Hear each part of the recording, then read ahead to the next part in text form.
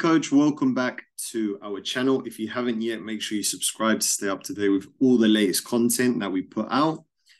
Also, if you want to get in contact with me to, to talk about your business, there's two ways you can do that. If you visit the description in this video, you'll be able to contact me through either Calendly or you can send me a direct message to my email to Make Money Coaching Sports.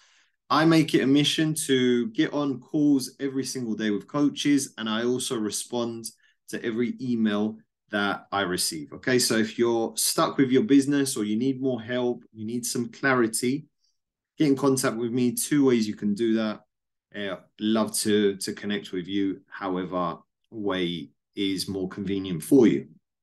Okay, so today's video is not intended to scare you but it is intended to make you more aware of what is coming uh, in the upcoming year, right? So we are currently now in 2023. We've left 2022, and all the forecasts, all the economists are predicting that we are going into a recession. There's some countries that are already in a recession.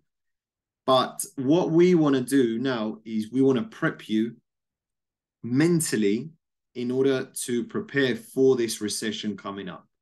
Now, when we go into recessions, it doesn't necessarily mean that you're going to stop having clients, right? People still do business in recessions, but people change the way they do business, right? So if you're a parent and you have noticed that cost your cost of living is going up I can guarantee you that what you've started to do now is you've started to prioritize certain things over certain things, which means the things that you might have been spending money on in the past, now as things have got more expensive, you're thinking to yourself, right, I can't afford to, I can't afford that now, or I don't need it right now. So you've got to put yourself in a parent's place, right? Parents are still going to spend money they're still going to invest into their child, but they're only going to do it in a way where they feel that, you know what, there's a lot of value here and I need to keep paying for it because it's getting me and my family great results. So there's three things I look at when I speak to coaches that are either concerned about the recession or if they're going through a bit of a, an economic crisis with their business. These are the three ways to approach it. Okay. So the first one is build discipline. Now, building discipline isn't just uh, with your business, okay, but it's also self discipline as well. But what tends to happen is when coaches go through great economic uh, periods with with their business, right? They're getting regular clients coming in, new clients, business is doing well sometimes they they tend to lose a little bit of that self discipline. So they'll go to bed late. They'll start to waste time on certain activities that that aren't pushing their business forward.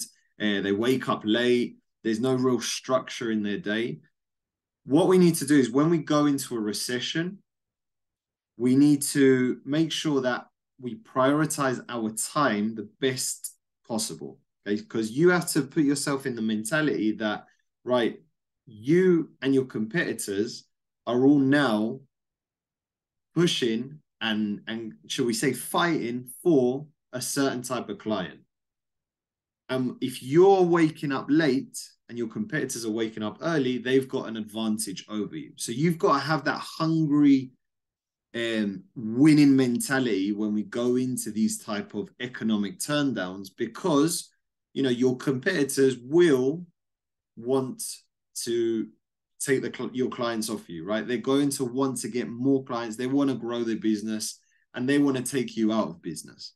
So we've got to start to build discipline, not just within our business, making sure that we're we're consistent with marketing, making sure that our our training sessions are up to a high standard, making sure that we're get, doing our sales calls, we're following up with uh, prospects, you know we're doing all the sales activities in order to push our business and keep consistent.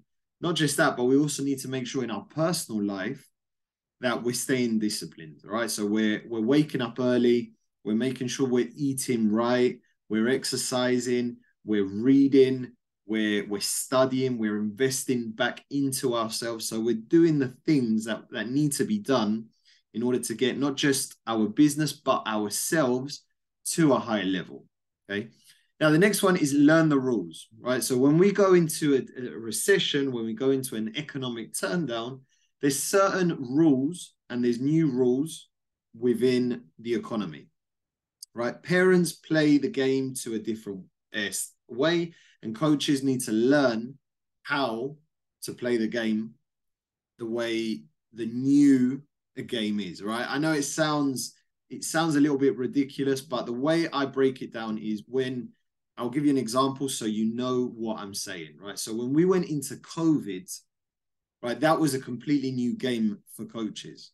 Coaches couldn't, for, for the most part, most coaches couldn't train clients uh, in person. So what they had to do is they had to learn the new game, right? I need to now move my training online.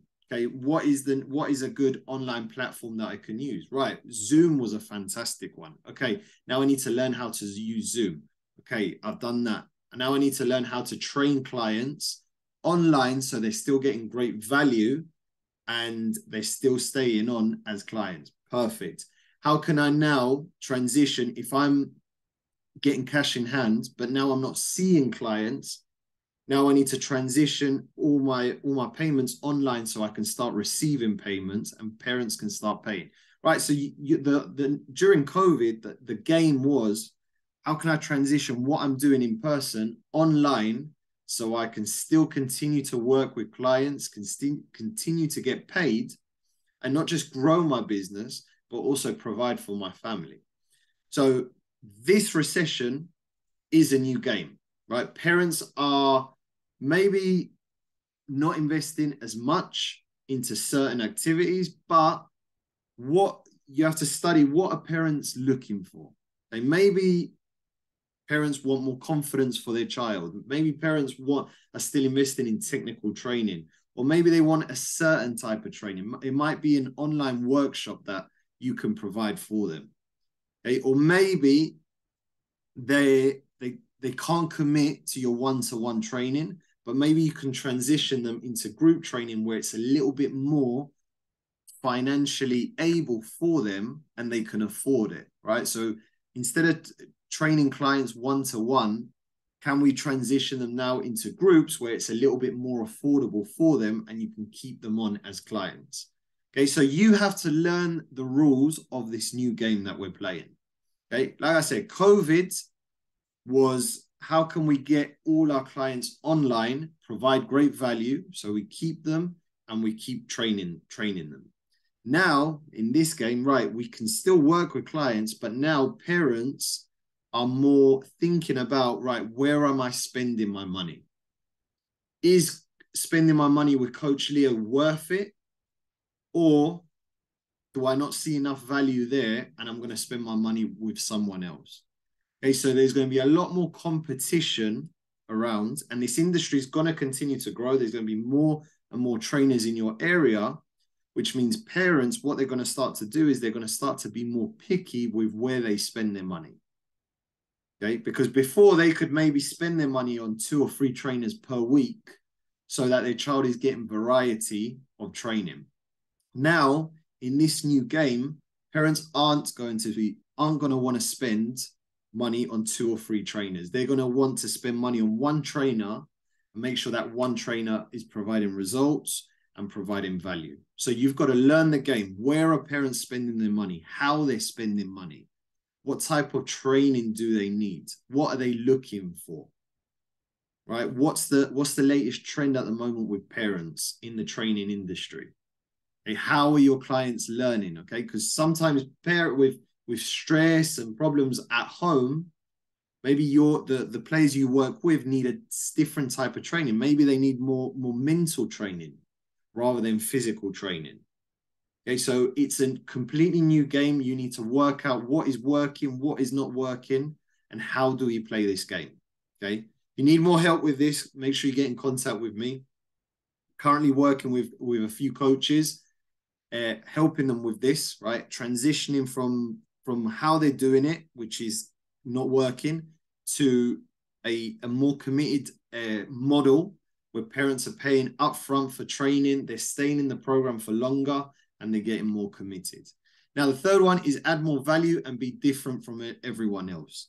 So, what's going to be what's going to happen is as we get into a recession, a lot of bigger companies are going to start to lay off people, right? So essentially, people are going to start to lose their job. Now, what's going to happen is a lot more people are now going to move into the sports training industry because the sports training industry isn't going to to stop growing right? It's going to continue to grow more and more. And essentially in some cities it's going to become very saturated which means there are going to be a lot more trainers offering similar or, or the same things that you currently offer. So what you need to do is you need to find ways how can i add more value to parents so that i can become different from my competitors. So where maybe in one town there were two trainers, now in 2023, it's going to double that. Right? You'll find there'll be 10 different trainers in one town, all offering similar or the same type of service as you are. Okay. Because more and more trainers are going into this industry, maybe to do it uh, full time, some just to build some supplemental income to what they're currently doing, right? But there's more and more trainers coming into this this this type of uh, niche, this type of industry, which means it's going to be more saturated, it's going to be more crowded, but you need to find ways as a business owner how can i add more value to my clients so that my clients don't have to go anywhere else and spend money they can continue to invest money in my company with me and for my training.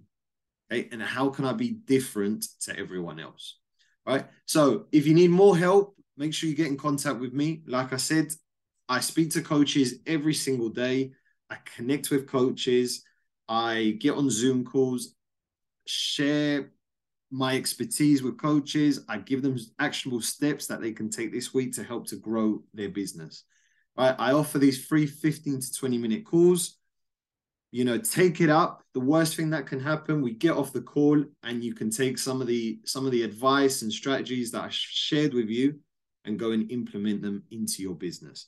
If you don't want to do that, you just want to send me an email, then that's fine as well. I do respond to every single email that I get from coaches. Okay. Thank you for watching, and I'll see you on the next video.